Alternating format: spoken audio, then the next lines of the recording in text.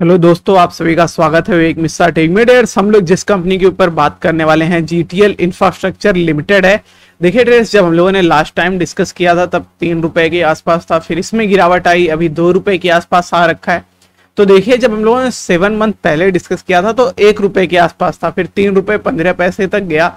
तो इस हिसाब से देखा जाए ड्रेस तो हमको 200 परसेंट का रिटर्न तो बना जिन लोगों ने एक रुपए पे बाई किया होगा। पर अभी जो बीच में इसकी कंडीशन अभी वापस से डाउन आ रखा है तो क्या इसमें एंट्री लेना चाहिए या नहीं? और आज बहुत ज़्यादा अच्छा वॉल्यूम भी जनरेट हुआ है इस शेयर में। तो मैं सोचा आज डिस्कस कर लेते हैं, क्योंकि रैली की उम्मीद जो है वो ज़्यादा यहाँ पे दिखाई देती है। तो इसकी करंट फाइनेंशियल कंडीशन और चार्ट पे बात करेंगे इस वीडियो में। जो चैनल पे नए हो चैनल सब्सक्राइब कर लें नोटिफिकेशन बेल ज़रूर प्रेस करें ताकि आने वाले नेक्स्ट अपडेट आपसे मिस ना हो। आप वीडियो को भी लाइक कर दें जिससे और लोगों को ये शेयर के बारे में पता चल सके। आप यहाँ पे ज्वाइन कर सकते हैं यूट्यूब पे यहाँ से आप मेंबरशिप ले सकते हैं और उसके काफ़ी सारे बेनिफिट का फ़ायदा उठा सकते हैं। टेलीग्राम का भी लिंक आपको वीडियो के डिस्क्रिप्शन में मिल जाएगा। वहाँ पे भी हम लोग से मार्केट से रिलेटेड लेटेस्ट अपडेट पोस्ट करते रहते हैं। देखिए ड्रेस कंपनी है देखिए पैनी स्टॉक में आता है रिस्क तो है।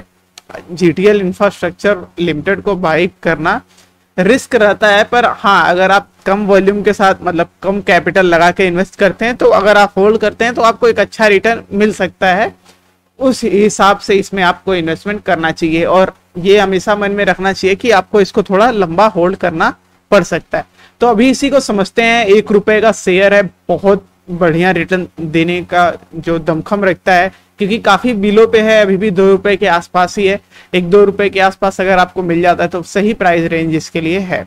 तो समझते हैं इसी का भी करेंटली कैसा हिसाब किताब चल रहा है। तो जीटीएल देखिए, यहाँ पे दो रुपए पे ट्रेड कर रहा है। अगले जो नंबर आने हैं, वो नवंबर 11 को है। अर्निंग पर शेयर देखिए, अभी भी वन नेगेटिव में है। स्पेशलिस्ट टेली कम्युनिकेशन से आ जाती है कंपनी मार्केट कैपिटल 24.72 बिलियन की है। डिविडेंड अभी नहीं प्रोवाइड करती है। इस हिसाब से करंटली इसकी कंडीशन है। देखिए यहाँ पे आप देख रहे हैं थ्री रुपीज़ नाइन्टी पैसे तक गया था जब हम लोगों ने मतलब एक रुपए पे इसको पकड़ा था इस जगह पे। वहाँ से तो और भी अच्छा रिटर्न इस कंपनी ने दे दिया है। पर सेवन मंथ से हमको देखिए कितना ज़्यादा होल्ड करना पड़ा था इसमें। तो इस तरीके से होता है, आपको होल्ड करना पड़ सकता है। पर हाँ रिटर्न वाइज देखिए थ्री रुपीज़ नाइन्टी पैसे यहाँ पे मेंशन है। तो काफ़ी अच्छा गया था। फ़िलहाल अभी देखिए, दो रुपए के आसपास ट्रेड कर रहा है। तो इसमें कहाँ पे एंट्री लें वो समझते हैं। टेक्निकल इंडिकेटर न्यूट्रल का बता रहे हैं। हम लोग इसमें फाइंड करेंगे चार्ट में कि कहाँ पे पोजीशन बन रही है। हाई लो का डिफरेंस देखा जाए ट्रेस तो 45 पैसे से चार रुपए तक गई थी। मतलब जो लोग 45 पैसे के अराउंड इसको बाई किए होंगे, वो तो माला माल हो गए होंगे। 50 पैसे के आसपास भी अगर खरीदा हुआ किसी ने तो वो काफ़ी अच्छे रिटर्न में होगा। चलिए अभी इसी के ऊपर बात करते हैं, कैसी फाइनेंशियल कंडीशन अभी करंट ही नज़र आती है तो मार्केट कैपिटल टेस आ जाती है 2459 करोड़ की। बुक वैल्यू देखिए इंटेंजिबल है नेगेटिव में है। तो अभी अपने बुक वैल्यू की कह लीजिए एक तरीके से नेगेटिव है तो क्या ही कुछ भी क्लोज नहीं है।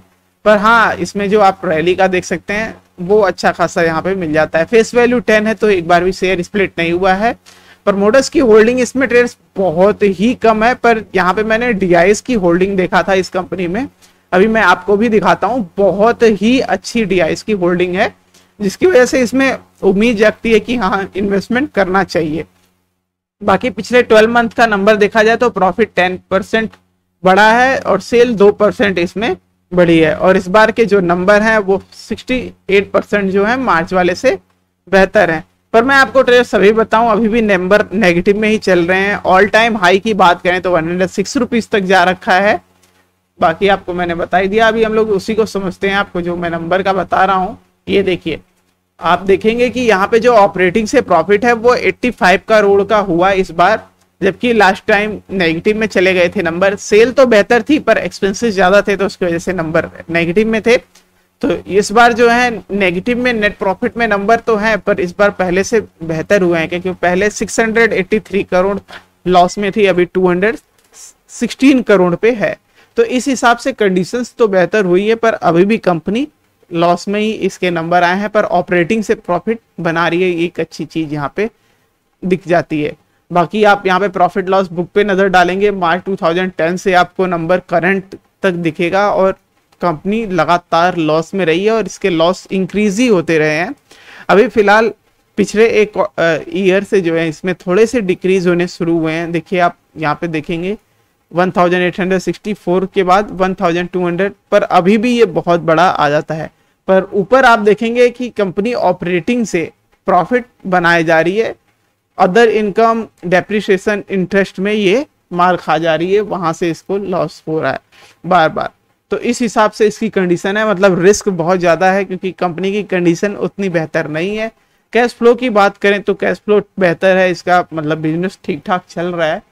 बाकी इसके आप देखेंगे कि जो रेशियोज हैं डेप्टर डेज़ भी कम है, ये सारी कंडीशंस ठीक है। यहाँ पे शेयर होल्डिंग पैटर्न पे नज़र डालिए।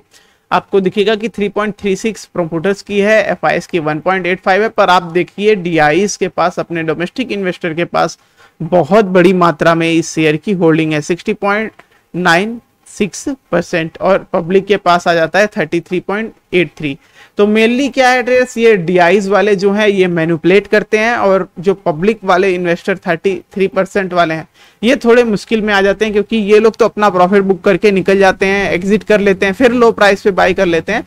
पर फ़िलहाल इनकी अगर होल्डिंग इस हिसाब से है तो एक अच्छे प्राइस रेंज में आपको भी मिल जाता है, क्योंकि ये लोग भी अभी होल्ड ही करके चल रहे हैं।